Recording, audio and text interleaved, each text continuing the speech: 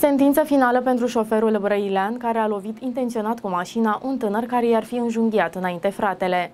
Conform Observator News, tânărul în vârstă de 37 de ani acuzat de tentativă de omor după ce a lovit intenționat cu mașina un bărbat pe o stradă din Brăila nu scapă de închisoare. Accidentul teribil a fost filmat de o cameră de supraveghere. Condamnat inițial de Tribunalul Brăila la o pedeapsă de 3 ani de închisoare, inculpatul a formulat apel, însă la instanța superioară nu a obținut o pedeapsă mai ușoară. Imaginile surprinse de camerele de supraveghere care arată cum un tânăr iese dintr-un imobil și așteaptă pe marginea drumului să treacă mașinile, probabil pentru a se angaja în traversarea străzii. La un moment dat însă observă că un seat se îndrepta către el și încerca să se ferească, dar este lovit în plin și proiectat într-un gard. După accident, șoferul a ieșit din mașină și a început să înjure victima, întrebând-o totodată dacă a murit. Conflictul ar fi început înainte de accident pe o stradă alăturată, unde tânărul lovit cu mașina mașina l-ar fi înjunghiat pe fratele șoferului de 37 de ani. Conform informațiilor obținute de reporterul observator, în bătaie au fost implicați trei tineri. Unul s-a ales cu fractură la genunchi, unul cu fractură de umăr și un al treilea a fost înjunghiat. Șoferul Seatului a fost testat cu aparatul etilotest, rezultatul fiind negativ, relatează Observator News.